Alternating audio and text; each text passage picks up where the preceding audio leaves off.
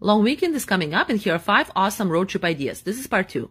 Did you know that there is an island in Lake Huron that you can visit and even climb a lighthouse? It's called Chantry Island Tour and it's in Southampton, which is three and a half hours from Toronto and there are lots of Airbnbs nearby. Number 2 idea is the whole of Essex County. This is like the second Niagara region with tons of gorgeous wineries that nobody knows about.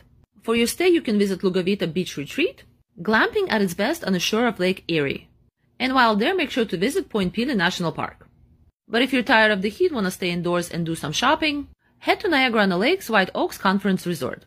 Beautiful, well-priced hotel with the most loveliest breakfast buffet. The buffet was extra under $40, but it was definitely worth it. And literally across the street, there are Niagara outlets. Tons of different stores and you will need hours to check all of them out. And also nearby the St. Catherine Museum, there is boat watching platform. Number four amazing town to check out is Goderich. This is located on Lake Huron. During the day, the water is bright turquoise, and in the evening, the sunsets are absolutely